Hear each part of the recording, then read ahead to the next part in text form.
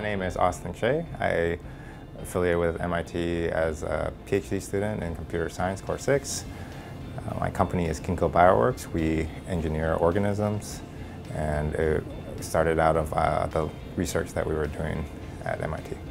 My undergraduate training was in traditional computer science, and when I, what drew me to MIT's graduate program was I wanted to do something different than programming computers that I've been doing for most of my um, career at that point.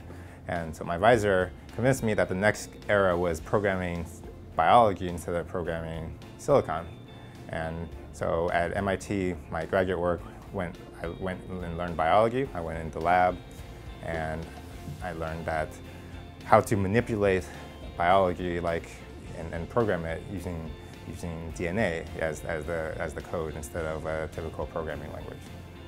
Ginkgo was started in 2008 by four, four of my classmates, PhD students who were graduating around that time, plus my advisor who we convinced to also join. So the five of us um, started around 2008. We had all, the four of us, the um, plus my advisor, had been working in this field for a while.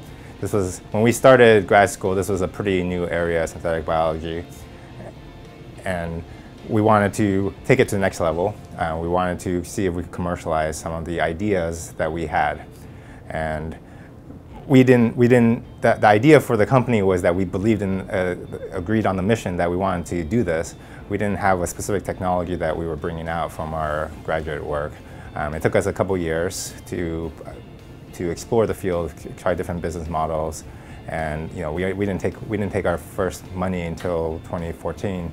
Um, and so, so we were we were trying to explore the area and trying to find find the right fit. And I think now we've we've shown we've seen explosive growth and, and interest in the company. At the heart of what we're trying to do is is utilize biology as, as a technology. Silicon has been great at, at being able to process information, so we can program computers to move, move bits around but it's not very good at interacting with the physical world. You can see good examples of like macro-sized robots and things like that. Biology is great at manipulating atoms. We can precisely place them at the nanoscale. It can even go up to planet scale. You know, it's not an exaggeration to say that this planet exists because of biology. And so what we're trying to do at, at Ginkgo is to learn how to harness that technology to build things and use biology as a manufacturing platform whether it's from chemicals or up to you know large, larger things like like you know or bigger organisms or you know on the on a global scale. We think that biology has the has the solution and we just need to learn to utilize it. And so Ginkgo is trying to develop the tools so that we can do that.